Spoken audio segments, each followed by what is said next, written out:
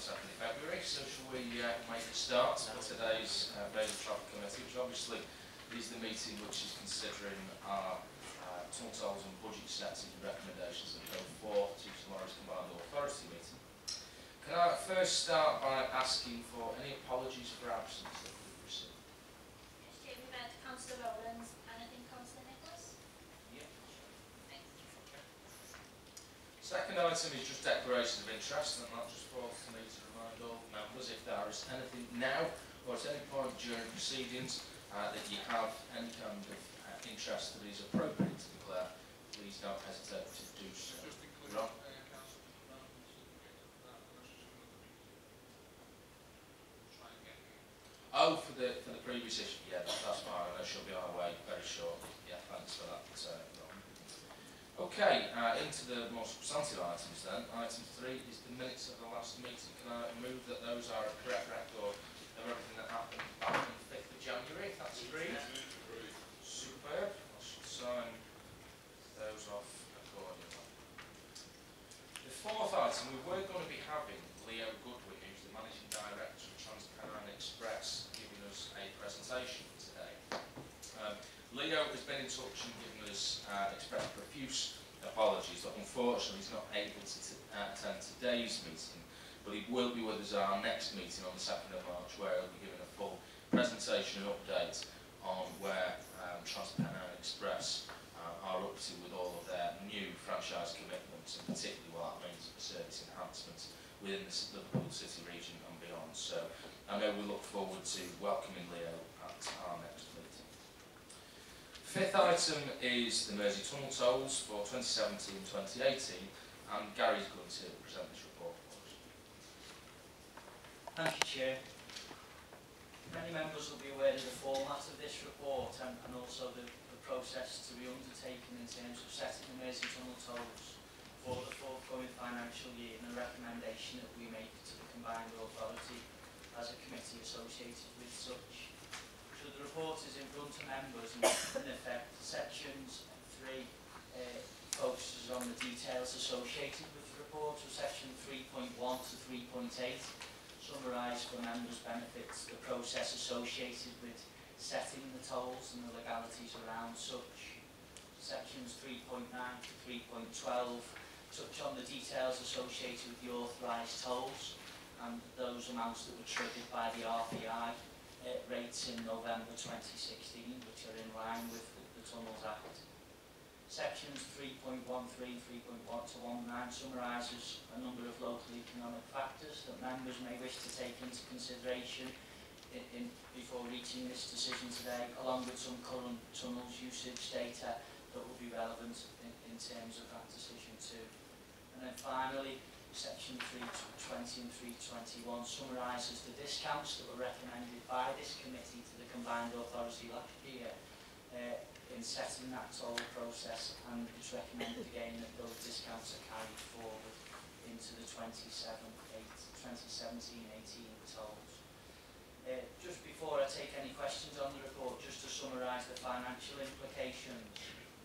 Uh, overall, from a, from a budget perspective, there's a small variance associated with the income from the 16-17 budget into the 17-18 around toll income. And that small 3k favourable variance is on the basis we assume a 1% growth in traffic that is offset largely by a migration from cash paying customers to fast tag customers during the year. Happy to take any questions on the report, Chair. Lovely, thanks for that, Gary. Members, Ron? I just thank uh, Gary for the report, I think it's a comprehensive, comprehensive comprehensive report. And I also thank um, Chair and the rest of the members for keeping the levy at the same level as last year and the year before and the year before that. So I know the difficulties we're facing with uh, wholesale government cuts uh, across this region for all councils and it's, it's you know, a significant impact on that. I know the Travel Republic would like to see further reductions we have to balance the budget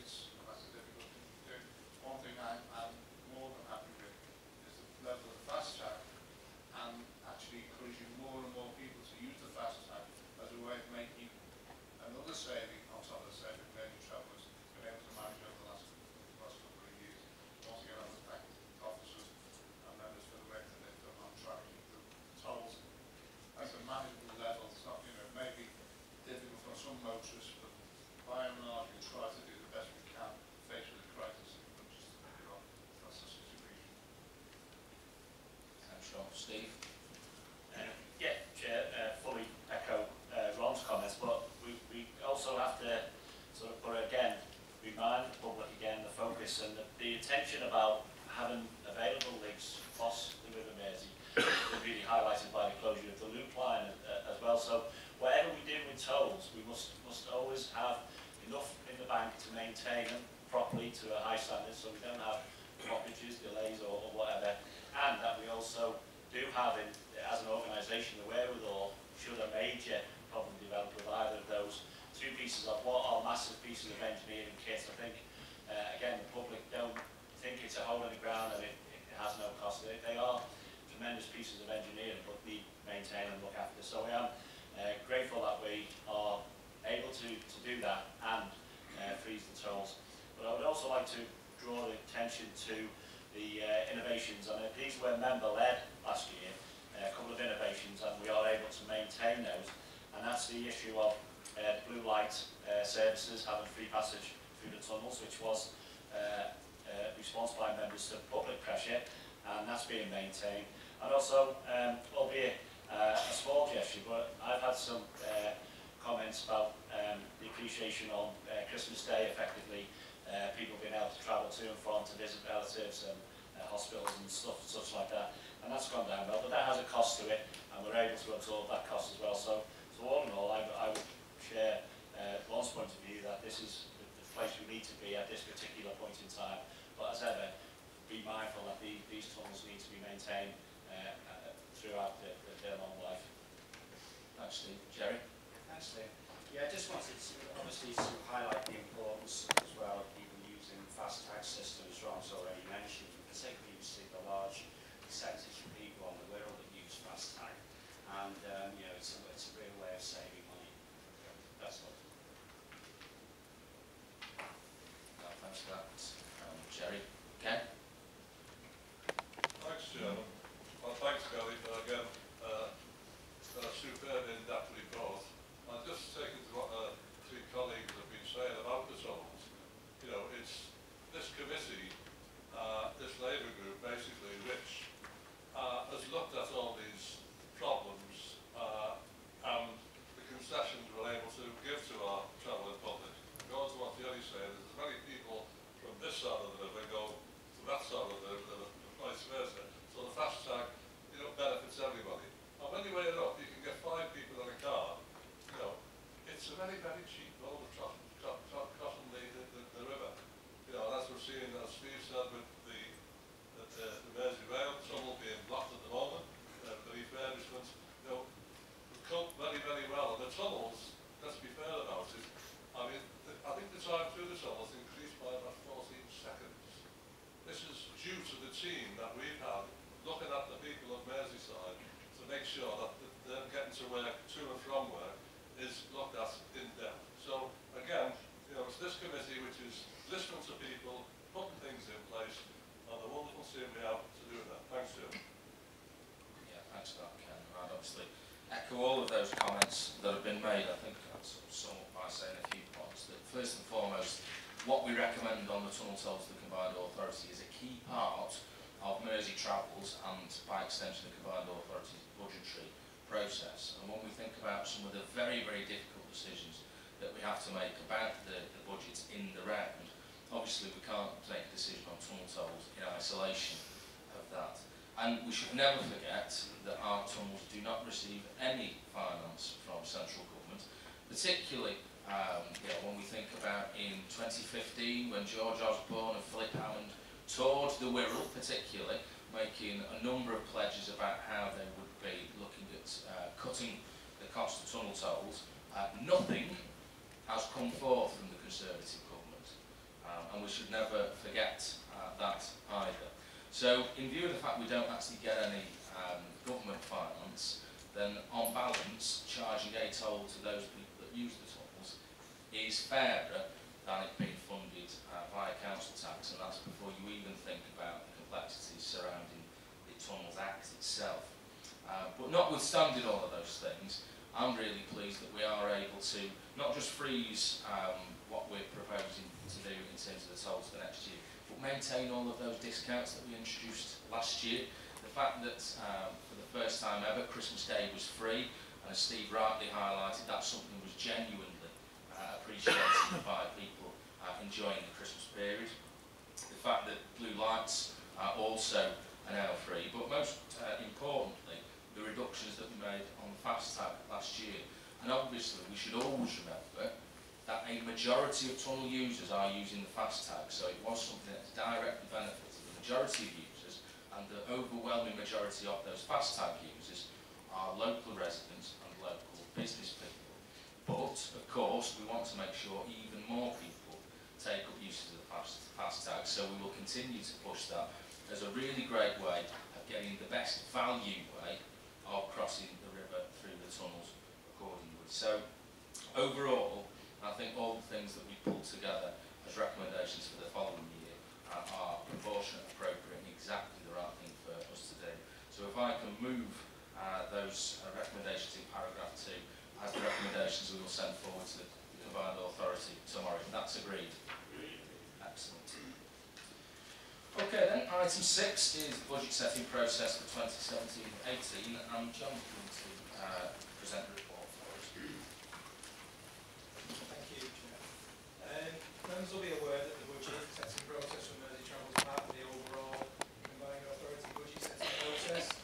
And that it's the responsibility of this committee to make certain recommendations up to the CA so that they can set a budget and in particular set the transport levy. In doing so, this year, it is part of, as it normally is, a very um, sustained consultative process with um, both internally and externally, particularly with district partners and, and your own treasurers and chief execs and leaders have been involved in this. Um, internally, budget holders, heads of service, members, lead member for finance. So it, it's very much um, the result of an awful lot of work throughout the year, an awful lot of collaboration. The background to this budget is that further financial pressures on the districts mean that there's less money available for everything. So in particular, there's less money available to fund transport services. In particular, pressures on social care budgets alongside reductions in government funding continue to put downward pressure on the transport levy. The Mersey Travel Committee has been endorsed, asked to endorse a budget requirement from the CA that will allow the CA to set a transport levy that's 10 million less next year than it is this year, 95 million pound. This reduction in the transport levy brings the levy under 100 million for the first time for many years. Um, at its peak, three years ago, the transport levy was 127 million. That was about 360 pound for a Band D property, much more in some districts. Next year, that will be reduced by more than 100 pound. Most households aren't in Band D, obviously, but for a typical Band A property, the reduction in the levy um, over the last three years is equivalent to about £881 per household. In fact, next year's levy will be lower even than it was in 2004-5. That's without taking into account inflation. It's really significant reduction. All in all, the £32 million reduction over the last few years has increased the spending power of the districts by well over 100 million pound. We pay, play a very significant part in the overall um, approach to local government finance across the, the city region. It's a really significant achievement for Mersey Travel. What that means for Mersey Travel, obviously, is very challenging. Both our main operating grants, those for the tunnels and those for other services, will reduce next year by a combined total of 4 million. Well, the capital programme will have to be around 9 million less next year after adjusting for the rolling stock. Special rail grant is also reducing, as is the availability of capital funding for the integrated transport block. Mersey Travel will have to continue to improve its efficiency through better processes, better commissioning, better procurement, in order to try to continue to insulate front-facing services from these revenue reductions as much as is possible. Um, but we'll need to ensure that all those front-facing services continue to deliver the best outcomes for the resources that are deployed. Across a number of service areas and policy areas, we need to ensure that resources are deployed effectively, and we'll have to continually challenge ourselves to make sure that services and policies remain relevant and appropriate. Wherever we can see more cost-effective methods of service delivery, we'll need to embrace those or at least consider them very carefully. Where we, what we try to do, where possible, is to maintain revenue activities next year to protect front-facing services. However, has had to be reordered, reprioritised and rescheduled. We'll still, however, be delivering the largest capital programme we've ever been involved in, with rolling stock, Newton Station, Halton Curve, Maghull, to name just some of the really major schemes that we're involved in. However, outside of those major schemes, or including those major schemes, it will be the availability of funding that will drive our ability to deliver the capital programme. And that does mean that certain smaller scale interventions will need to either find alternative funding or be rescheduled or, or done in a more imaginative or cost-effective way. Obviously, management of our own assets in terms of health and safety and risks around um, continuity of service, bear in mind again, repeatedly, the Wirral slab track work being an obvious example, will always take priority. And there'll still be significant investment in tunnels infrastructure next year, including a new toll system. Should also mention at this point, because it's relevant, that next year the differential mechanism, uh, the differential levy mechanism, sorry, kicks in for Halton. This was a requirement of the original combined authority order, albeit we're a year earlier than, than the deadline. But all that means next year is that Halton's transport spend will be by way of a separate transport levy that it will pay up to the CA, but the CA will then return that transport levy by way of a grant, and Halton will continue to deliver Halton transport services separately from Mersey Travel within its own boundaries.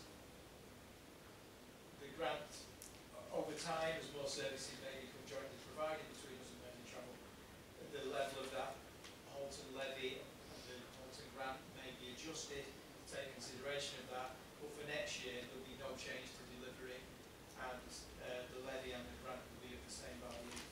So, in summary, next year will be challenging, obviously, but this is um, hopefully you've been recommended a responsible budget and a budget that's achievable. We need to focus further on efficiency and prioritisation, obviously, and that will become increasingly harder, but resources do avail, remain available to deliver around our key corporate priorities and to deliver those key critical programmes of work that will support the transport and wider economy of the city region. So, without going into any details around the numbers, that's, that's the context of the budget. Obviously, I'm happy to answer any questions or receive any further, comments. Thanks for that, John. I've got Steve and Gordon. Uh, yeah, Chair, obviously, um, key moments in, in the year, particularly uh, as lead member for, for finance, and I think to echo uh, John's sort of commentary, uh, I suppose putting the figures on paper and, and, and allocating the savings uh, is probably the easier part of this budget. is Actually, the delivery of it next year and being able to sustain that level uh, the year after is going to be the challenge. So I think work will start immediately uh, on, on trying to close that gap. We have used balances um, and we are encouraged from all, all lots of people to use balances, but we have used balances, which is not always a sustainable way of maintaining the budget, so they will have to be looked at and, and reviewed as the year goes on. Be implications for, for service delivery. A cut uh, of 10% is effect, you know, is, is fairly heavy and savage, so there will be consequences, and I hope people are understanding, but we will try to manage the budget as best we can. Um, I'm not, I'm not into league tables or, or, or games or figures, but uh, I haven't, we haven't got exact conclusion, but I know last year we were moving very close to looking quite normal in, term, in terms of the levy, and I just wonder where, whether we've picked any of our neighbours uh, in, in terms of uh, cost. Um, but that, that's not the important thing. The important thing is what you do with the money and historic reasons why it's so high. But clearly, um, congratulations to the team for being able to deliver this. And I know from my perspective as, again, wearing my other hat as a councillor from one of the districts, who are facing uh, unprecedented cuts in, in their levels of service, to the point where we are very, very close to that foreseeable graph of doom, where you will simply only have the money in local government to provide that which is a, of a statutory services, particularly those areas around social care. We are not very far away from that, from, from that implication. So anything that is, is delivered back in terms of saving actually stops us making some of the more difficult and savage cuts that we were making back each and every district. So as part of the, the overall city region team, I think we've delivered. Um, but I, I put a start going forward, and it's probably my job to say we can do it this year. We can't guarantee it year on year without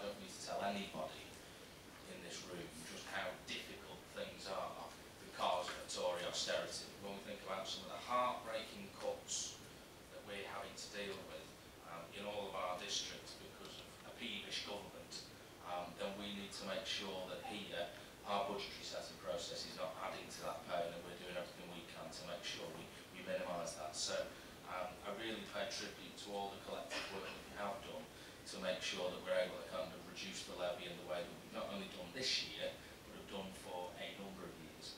None of these decisions are easy, um, and I know we kind of face the, future year um, with a number of kind of uh, things we have to implement that are uh, challenging and difficult, but we will do that accordingly. But we will still be doing that and delivering the very best possible transport network to the people of the Liverpool City region and working really, really closely with all of our district colleagues over the years ahead to make sure that we can not only deliver the best quality transport network, but we're doing that in a financial way which kind of meets with everyone's kind of requirements and, and aspirations. So if there's no further uh, questions, comments or uh, contributions, if I can then move the recommendations in paragraph two of the report. Yes, Gordon? Yeah, that's excellent. And then we can obviously recommend that budget uh, to the combined authority if that's agreed. Excellent. There's no urgent AOB on today's meeting, so thank you for your attendance and look forward to seeing you at the next meeting.